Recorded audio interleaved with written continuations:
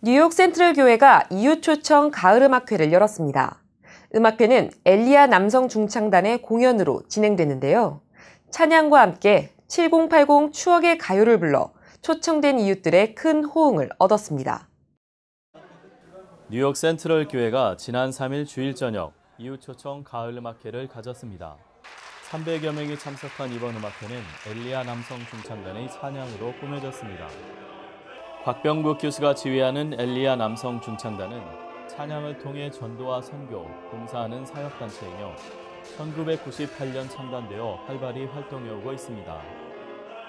헌터 드럼팀이 3곡으로 음악회의 시작을 알렸습니다. 이어 엘리아 남성 중창단이 출연해 Hallelujah to the saint, 저 높은 곳을 향하여 사랑하는 나의 주, 주기도를 불렀습니다.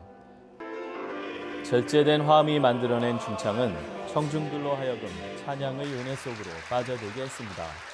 이어 담임 김재열 목사가 나와 환영 메시지를 전했습니다.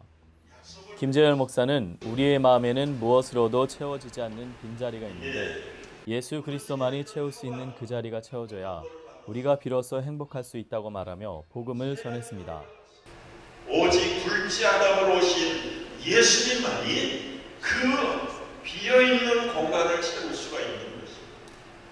이제는 누구든지 이 예수님을 마음으로 믿고 입으로 신임하면 하나님의 자녀가 된다고 했습니다.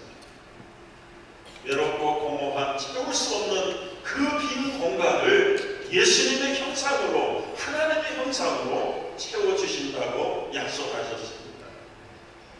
2부에서 중창단은 그리운 금강산, 보리밭 등의 가곡을 불렀고 이어 통기타를 치며 7, 80년대 유행했던 추억의 가요를 불러 참석한 이들의 마음을 열었습니다.